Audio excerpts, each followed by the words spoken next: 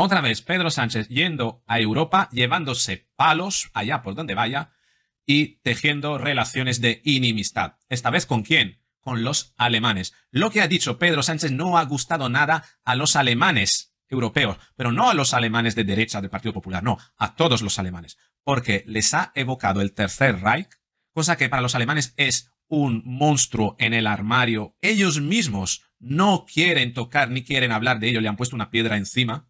Y él mismo se lo saca delante de todos diciendo lo que le ha dicho. La, verdad, algo nefasto. Lo vas a ver todo en este vídeo, venga. Pues sí, Pedro Sánchez ha ido a Europa a defender el semestre de presidencia español y a soltar una cantidad de, de mentiras y pintar, fabricar una realidad acerca de lo que está sucediendo en España, que la verdad que lo vas a escuchar y dice, ¿cómo puede ser que esto está ocurriendo en España? ¿no? Y te voy a poner el vídeo de Pedro Sánchez de lo que le dice a Weber, que es el presidente de los populares en toda Europa, es decir, de todos los partidos afiliados a la corriente que sería del, afín al Partido Popular eh, español. Pero te repito que lo que él ha dicho no ha gustado en general a, toda la Eurocámara. De hecho, te pido que escuches el murmullo. ¿Qué usted de las políticas que están desplegando Vox con el Partido Popular en los cinco gobiernos autonómicos y en los 130 municipios que gobiernan? ¿Sabe que están censurando conciertos, películas y obras de teatro a la vez que están recuperando los nombres en las calles de nuestras ciudades de insignes eh, personas vinculadas con la dictadura franquista? ¿Esa sería también su plan para Alemania, señor Weber? ¿Devolverle a las calles y plazas de Berlín el nombre de los líderes del Tercer Reich?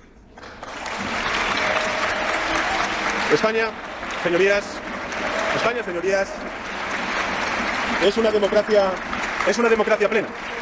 Somos un país europeísta, como es su gobierno. España tiene un Estado de Derecho robusto, un gobierno absolutamente legítimo y capaz. Y les invito a no confundirse de adversario. Ese error ya lo cometió la derecha europea en el pasado y Europa lo pagó muy caro. Nada más y muchas gracias, señorías. We move straight to the votes now. Colega Weber. Moción de orden, adelante.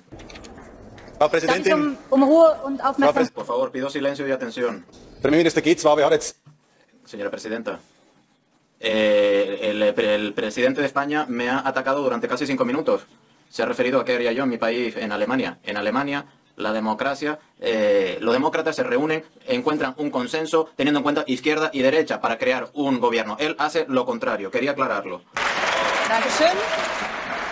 Bueno, esto es lo que ha pasado, pero ha habido muchas más cosas. Te voy a poner unos cuantos fragmentos de otras cosas que le han dicho a Sánchez. Yo pensaba que en Europa los tonos eran más tranquilos que en España y todo lo contrario, un nivel de agresividad mucho más directo, ¿no? Y, y, las personas mucho más asertivas a la hora de hablar no andan con rodeo y se nota, yo creo que se nota que están hablando para ellos mismos y no para el público, como sucede en la Cámara de los Diputados españoles. Se dicen la cosa realmente que se quieren decir, ¿no? Fíjate, ¿qué es lo que le ha dicho Puigdemont a Pedro Sánchez?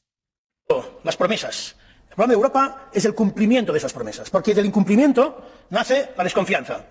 Desconfianza que puede poner en riesgo incluso un proyecto tan sólido como la Unión Europea. Fíjese, hoy yo le hablo en su lengua materna, pero no lo puede hacer en la mía.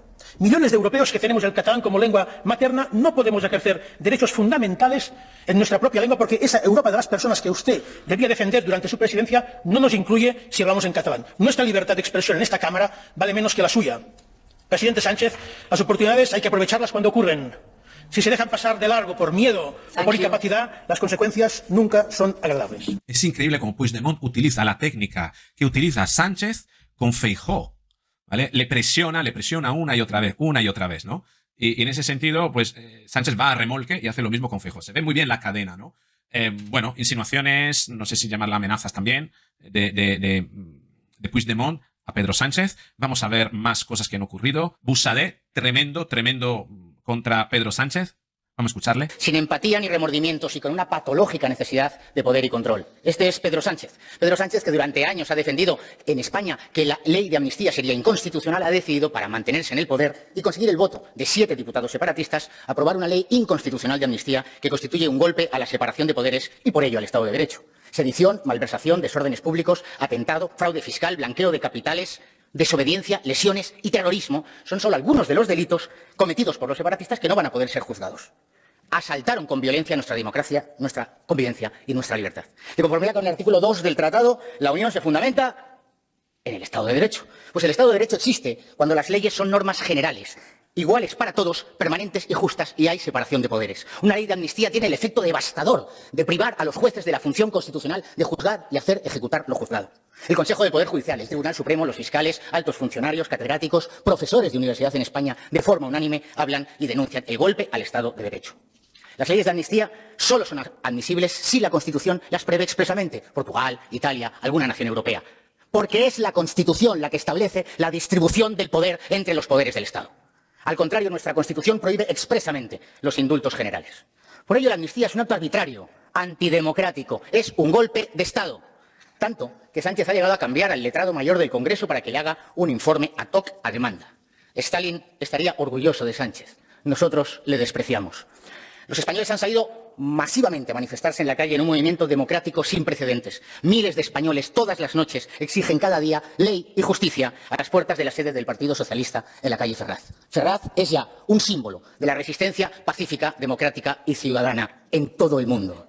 La prensa internacional se hace eco de la desproporcionada violencia que el gobierno de Sánchez ordena contra los jóvenes que reclaman ley y justicia. Millones de españoles exigen, comisario, una respuesta concreta, precisa y decisiva en defensa de la Constitución y el Estado de Derecho, pues ven cómo España transita el amargo camino de la tiranía ante el silencio de Bruselas. Ningún europeo decente entenderá que la Comisión aplicase un doble rasero en comparación a su reiterada homilía con los gobiernos conservadores de Polonia y Hungría, máxime cuando la situación en España es extremadamente más grave.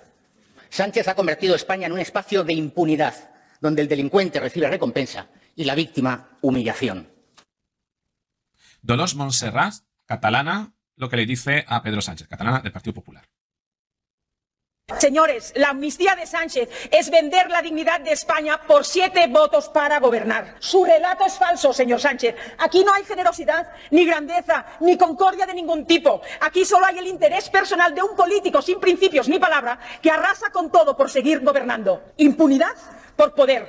Ese es su legado, señor Sánchez. Y escucha Europa, el clamor de España. La amnistía de Sánchez es la decadencia simultánea de los valores europeos y la democracia española. Esas son las palabras de Dolores Montserrat. Y bueno, ha habido más cosas, pero yo creo que con esto podemos tener una idea ¿no? de todo lo que ha tenido que vivir hoy Pedro Sánchez en esas horas ¿no? de estar escuchando las críticas que le han llovido eh, desde españoles en Europa, pero también desde otros europeos. ¿no? Conclusión de ese vídeo cuando va fuera Pedro Sánchez la lía, desde luego, y a nosotros nos da mucho trabajo, ¿no? Con estos, con estos vídeos. En fin, ¿qué te parece? Cuéntame tú qué es lo que opinas en la caja de comentarios. Si este vídeo te ha gustado, te invito a que le des al like. Si crees que puede interesar a otra persona, que lo compartas. Si no estás suscrito, suscríbete al canal. Hazlo. Hazlo. No te arrepientas. Venga, dale, dale a la campanita y así recibirás también un aviso cuando publique el próximo vídeo. Con este es. Un beso.